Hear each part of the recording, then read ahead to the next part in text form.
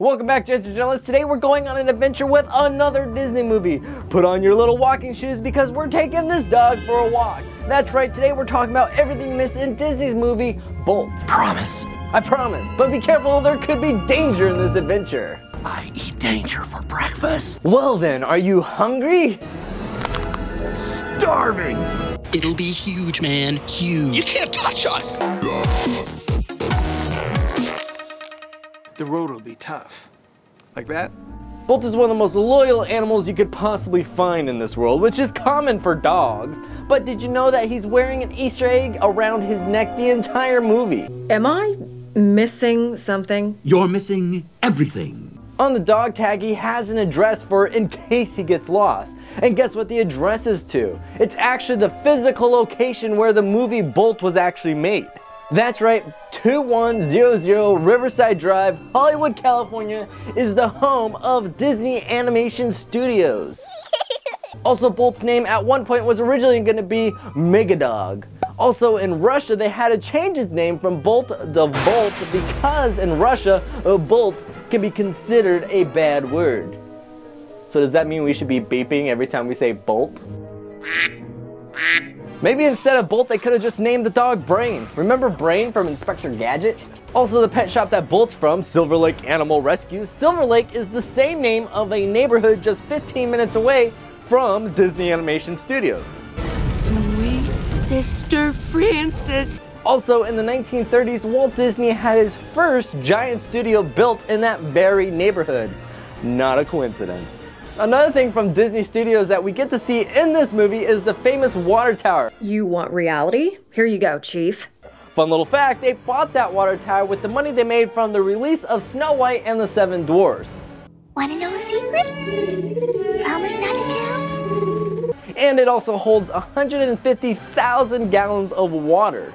We also know that the water tower in Bolt is the same water tower from the Disney Studios. Why? Because Ray Disney himself designed the six-legged tower because he thought it would be more attractive than the traditional one-leg or four-leg tower design. Ironically though, the tower was designed primarily for the event of a fire. Fire! Fire! Fire! And it's actually no longer a functioning water tower. That's right, there's no water in it. So this fire scene here might be pretty accurate if there was actually a fire. Oh, pretty high, huh? Just kidding.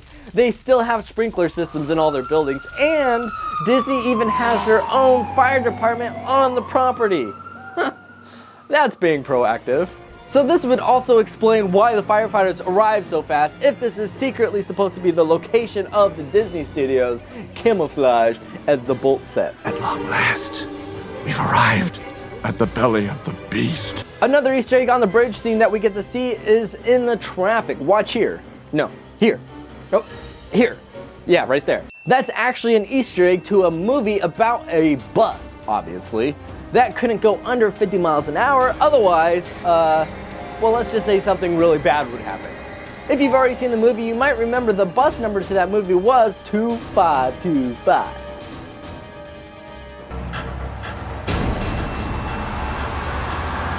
If you listen closely to Rhino when they arrive at the city where Disneyland is located, There it is! you can hear him drop a little hint to this fact. The most terrifying place on earth. That's almost the exact opposite of what everyone usually says about Disney. Usually people say it's the happiest place on earth. Of course, when you're on Space Mountain waiting in line for three hours for the ride, you might actually agree with him. Hey Joey, do, did we go too far in this? You kidding? This is the best day in my life. When Rhino's flipping through the channels, we hear a few hidden secrets. One of the shows he was listening to is The Price is Right. Come on down! Come on down! You're the next contestant on The Price is Right. Then it was Gilligan's Island. Gilligan, why don't you stop that? Another one was a TV game show called Press Your Luck, where the light would spin around the board and you hit the buzzer hoping to not hit a whammy, otherwise you lose all the money you just raised in the game. So people would scream, no whammy, no whammy, no whammy. Come on, no whammies! Come on! Also you hear Mr. T from the A-Team, a classic TV show. Hey man, this time I'm gonna do it my way. What you doing, sucker? And lastly, probably the coolest one of this group is we get to hear the famous Wilhelm scream. If you're new to the channel, you may not know what the Wilhelm scream is. If so, go watch my video about singing because I explained the Wilhelm scream in that video. Ooh. Beat it, stupid cat! Oh, Mama, I have got to get me one of these. Well, hello, puppy. I get it. Some of you are going to be cat fans, and that's totally fine. Someone has to be. I'm personally more of a dog fan, but a lot of times the villain has a cat. Coincidence? I think not. Stupid cat! Dr. Calico has his own evil cat, and even his name Calico is a type of cat. He also has a lot of similarities to another cat-loving bad guy that we know, and that is Dr. Claw from Inspector Gadget. But it goes a lot deeper than that. Follow me into the rabbit hole. And curiosity often leads to trouble. It's possible that this fake show, Bolt, is actually a spin-off to the old TV show Inspector Gadget. I'm not that crazy though, watch this. In Bolt, Penny owns a dog named Bolt. And in Inspector Gadget, his niece also owns a dog, and guess what her name is? Penny. Well, it's obvious what's going on here. That's not enough for you? Well then how about this? She also rides around in a scooter. Go Go Gadget scooter.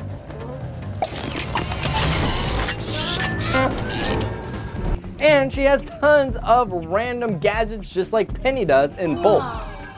Brain, come in, Brain. In Bolt, we all know that the villain is Dr. Calico. However, he isn't the main bad guy of the show. He's actually just the hired hand for the main bad guy.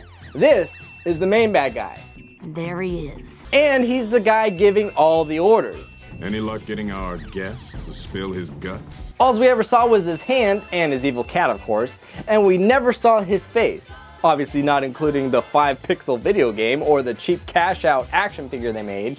But in Bolt it looks like the bad guy has his normal hand, so it couldn't possibly be Dr. Claw, right? Wrong. Remember the live action Inspector Gadget? In the movie, we learned that technology has improved quite dramatically, so Dr. Claw could have a normal human looking hand by now. Hi, hi. Oh, very clever, Kramer. Oh, very clever. And if you think that Penny from Bolt doesn't exactly look like Penny from Inspector Gadget, remember they already showed that they know how to do face surgery to change her looks, so perhaps they already did that before a few times. At least Calico won't be able to recognize me. Have you ever seen the cartoon Inspector Gadget? And no, the live action movie Inspector Gadget doesn't count. We're talking about the cartoon. Vote. It's a fair question. Let's do this. Let's put a pin in it.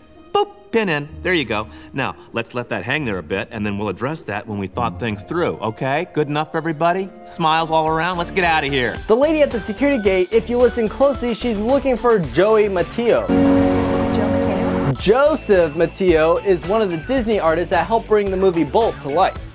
If you looked at the background of the movie Bolt, it's not high definition like the movie The Good Dinosaur. In fact, they went the exact opposite direction with quality. And they focus more on the story itself. In fact, the background you're looking at is just a bunch of paintings with a little bit of computer magic to make it look like it's 3D instead of a flat surface. Part of the reason that they went this way is because usually it takes four years to make one of these movies, like Toy Story or something.